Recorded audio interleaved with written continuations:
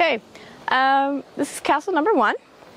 I don't know basically anything about the histories of these castles, but it's really fun and pretty and yellow.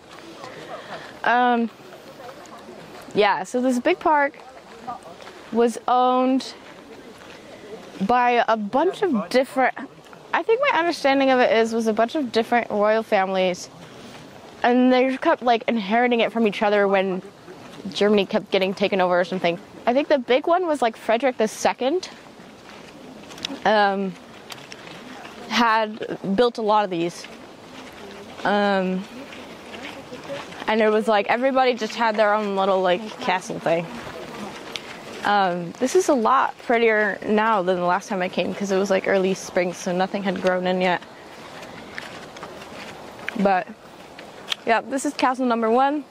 There's like three or four more just kind of down the path this way. Um, See the windmill? yeah, with the statue garden and the windmill. Um, very. Okay, wait. Uh, a senior couple told me this once that you can tell the difference between like. Um, as far as gardens, you can tell the difference between like romantic garden style versus um, what's the other one? I don't remember the other one.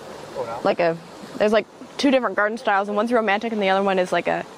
And romantic, it's like everything is really like grown up, and it's just like everything. They just let it grow. They let nature grow and stuff.